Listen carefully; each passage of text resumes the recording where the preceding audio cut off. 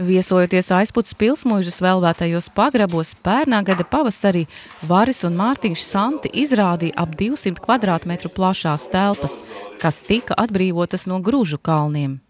Toreiz abiem bija apņemšanās izveidot vīna pagrabu ar meistardarbnīcām un vietējo ražotāju pārtikas produktu degustācijas zāli.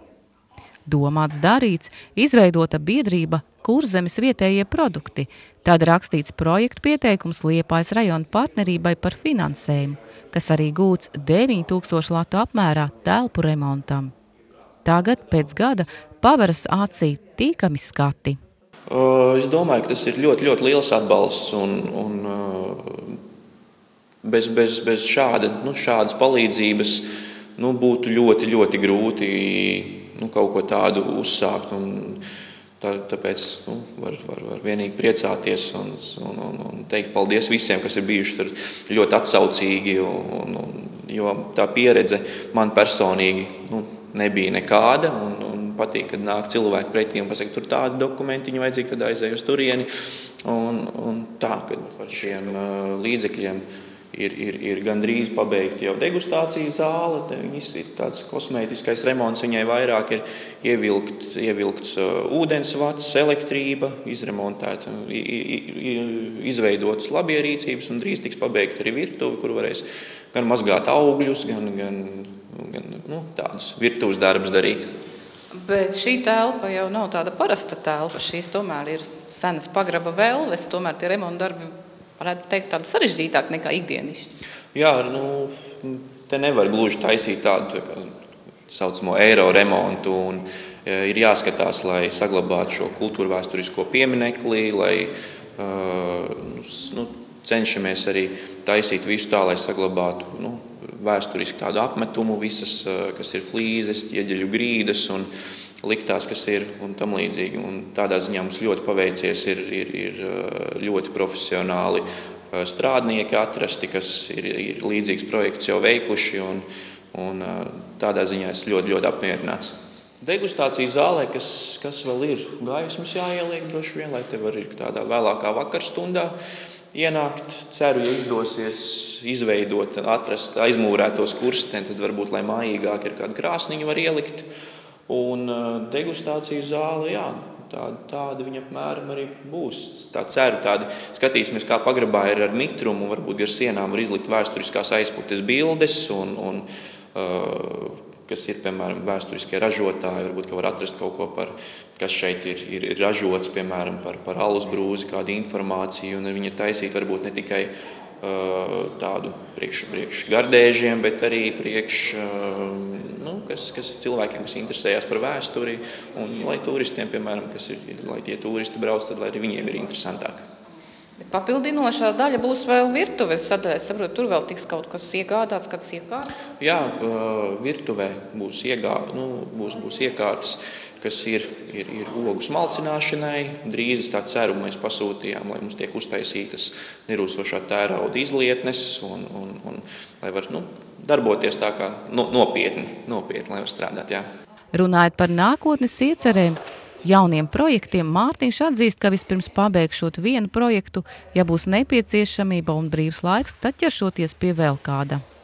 Tā doma, ka sākumā pabeigt vienu darbu, kas ir, ir, ir pagrabu labiekārtošana, un pēc tam jau var vākt vairāk tos biedrus, kas ir tāds paziņu lokus, jau ir izveidojies. Un šeit veidotajos pagrabos tieši kā gardēžu tūrēm un, un arī citiem uzņēmējiem un veikaliņiem atbraukt un paskatīties, kas tad īsti gan kurzemē, gan aizpūtas apkārtnē tiek ražots no tradicionālās pārtikas. Piemēram, kā tiek nevis industriāli cepta maizīte, bet maize piemēram, tiek cepta krāsnī. Kā, kā nu, visiem pazīstama lāču maize vai, vai, vai tam līdzīgi. Tad, piemēram, Šeit arī ir aizputē tādi cepēji, un tad par viņiem varēs uzzināt arī plašāka sabiedrība. Jo pagaidām, lai gan remonti turpinās, tad nu, šī gada pirmajos sešos mēnešos pagrabos ir viesojušies aptuveni kādi 900 viesi. Vīna pagrabos viesu droši vien netrūks arī aizputas svētkos augusta otrās nedēļas nogalē, kad vīndariem padomā īsts Čelentāno šovs. Šogad aizputas svētkos esam nolēmuši, esam izgatavojuši jau divas lielas koku baļas, kublus. Un pagājušo gadu pagājušā gada vīna mīcītāji, kas bija. Ir tāda, tāda doma, lai, lai sacenšās pret aizputs pilsētas domu. Un tad, lai uz sacensībām taisa, kurš, piemēram, uztaisīs vai nu izspiedīs vairāk sulas, un, vai kurš uztaisīs gardāku vīnu. Un, un, un gada garumā, līdz tas vīns būs, būs, būs gatavs, tad es domāju, skatīsimies visus tos rezultātus un vilksim plusiņus un mīnusiņus katram, kas, kas ko ir darījis. Un, un, un, un, jā, pilsētas svētkos būs kā, kā čelentāno šovs vai, vai, vai čelentāno tāda tā vīnu, vīnu, ogu mīcīšana, sulas spiešana un vīna izgatavošana.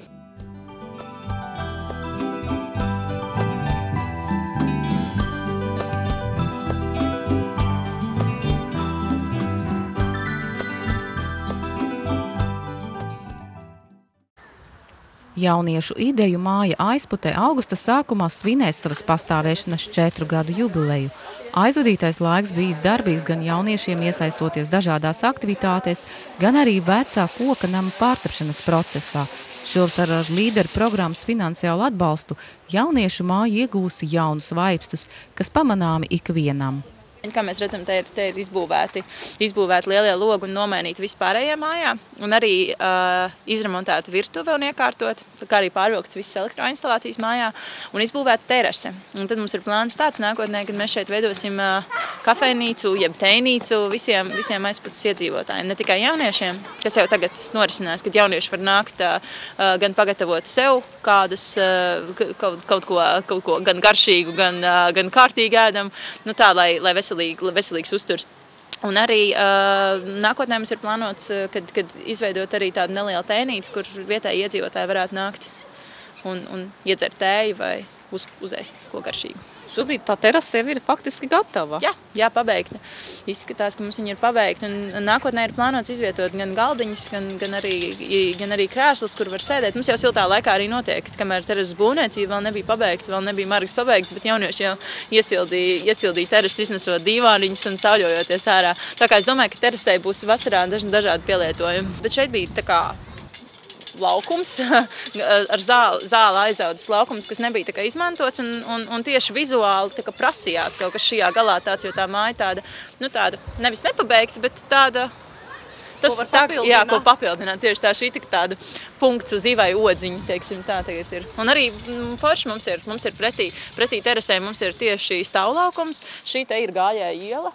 Un tā kā mums ir mm, nākotnē perspektīva, mēs varam attīstīt nu, ja mums, tā, ja mums tēnītas ideja aiziet, aiziet labi, tad mēs arī nākotnē varam likt galdiņus izvietot gan uz, gan uz uh, gājēju ielas, gan te uz terases. Ja mums izdosies, tad mums vēl tāds sapnis ir uh, izbūvēt, izbūvēt bēniņus šai mājai, un tad tieši virs terases tur arī vēl viens balkoniņš prasītos.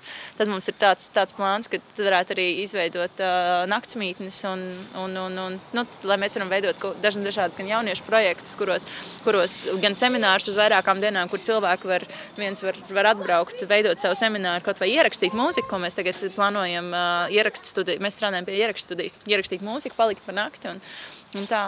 Bet tas mums tāds nākotnes tāda, tāda vīzija. Tā kā ir vasara un daudz jaunieši devušies tās baudīšanā vai arī atraduši darbu, līdz ar to ideju mājas aktivitātes vairāk esot kampaņa veidīgas atzīst Ance, taču ne mazāk saistošas.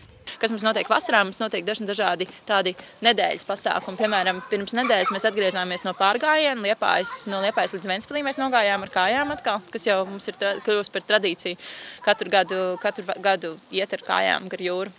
Un tad uh, vēl pirms vēl pirms divām nedēļām, pirms tā, jūnija beigās mēs bijām Zviedrijā ar jauniešiem. Mums bija Zviedru, ar Zviedru jauniešiem sadraudzības tā, tā, tā kā nu, vasaras nometne. Tad varbūt pilsētas svētkos mums tāds plāns ir uzņemt Zviedru jauniešus atkal šeit. Un tagad šonedēļ mēs sākam darbu pie mūzikas ierakstu studijas, tā kā jaunieši paši nāks un arī, un arī uh, remontēs un, un veidos un, un iekārtos mūzikas ierakstu studiju. Aizputs jauniešu mājas rekonstrukcijas projekta izmaksas ir 13 tūkstoši latu, ko īsteno aizputs novada dome. No tiem līdzfinansējums no līderu programmas 9 tūkstoši latu. Thank you.